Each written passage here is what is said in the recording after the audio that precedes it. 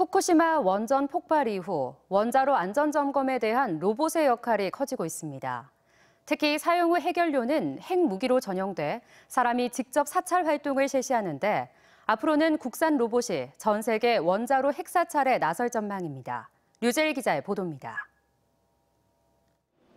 알루미늄과 우레탄으로 만든 로봇이 물 위에서 분주히 움직입니다.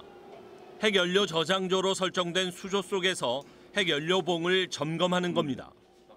원자력 연구원이 개발한 무게 11kg의 이 로봇은 물 위를 떠다니며 원자로를 정밀 점검하는 핵사찰 로봇입니다. 이번에 개발된 이 로봇은 냉각수 위에서 초당 30cm 이상 이동할 수 있고 스스로 임무를 수행하는 첨단 자율주행 점검 기능도 갖췄습니다.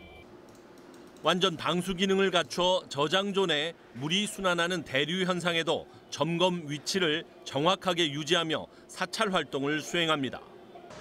현재 국제 원자력 기구는 깊이 10m 이상의 핵연료 저장 수조 점검을 위해 피폭의 위험성에도 불구하고 사람이 직접 들어가 장시간 핵연료봉 샘플 추출 조사를 실시하고 있습니다.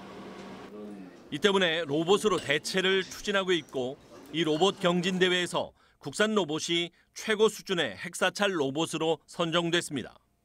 기존에 점검했던 방식에 비해서 다섯 배 이상 속도가 빠를 것으로 생각이 되고요. 그렇게 될 경우에는 어, 전수조사도 가능하고 사찰 업무의 효율도 굉장히 높아질 것으로 기대를 하고 있습니다. 국제 원자력 기구가 로봇 도입에 적극적인 데다 국산 로봇이 세계 최고 수준이어서 완제품 형태로 수출되면 앞으로 북한의 핵사찰 수용 시 북핵 시설 점검을 비롯한 전 세계 핵 사찰에도 나설 전망입니다. TJB 유재일입니다.